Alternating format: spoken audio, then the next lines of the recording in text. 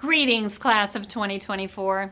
I'm Janet Gooch, the Chancellor of the University of Illinois Springfield, and I'm thrilled to congratulate you on this momentous occasion.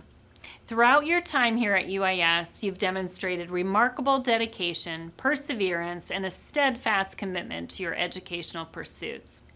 As you embark on the next chapter of your journey, I encourage you to carry with you the memories you've created and the invaluable lessons you've learned. Remember, no matter where life takes you, you will always be a part of the Prairie Star family.